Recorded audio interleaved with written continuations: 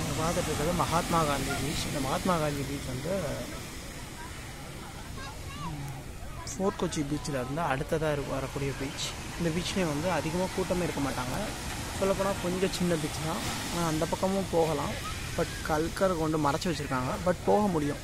But இந்த சின்ன பீச்சில் எப்படி இருக்குதுன்னு பார்த்தீங்கன்னா ரொம்ப அருமையாக இருக்குது நிறைய பேர் விளையாட முடியுது அதிகமாக கூட்டம் இந்த பீச்சுக்கு வரதில்லை ஃபோர்ட் கொச்சியில் அதிகமாக கூட்டம் இருக்கிறதுனால இந்த பீச்சில் அதிகப்படியான கூட்டம் இல்லை அதனால் குழந்தைகளிருந்து பெண்கள் வரைக்கும் எல்லாருமே வ- விளையாடி மகிழ்றதை பார்க்க முடியுது ஆனால் ரொம்ப தூரம் போனால் ஆழமாக இருக்குது மற்றபடி இந்த பீச் வந்து ஒரு அழகான பீச்சுன்றதால எந்த வகையிலையும் மறக்க முடியாது பார்த்தீங்களா அங்கே வாலிபால் விளையாடிட்டு இருக்காங்க செரை பீச் மாதிரி தான் இந்த பீச்சும் விளையாட்டுகளுக்கு ரொம்பவே உகந்ததுன்னு சொல்லலாம். ஏன்னா ரொம்பவே கம்ஃபர்டபுளாக இருக்கும் உங்களுக்கு.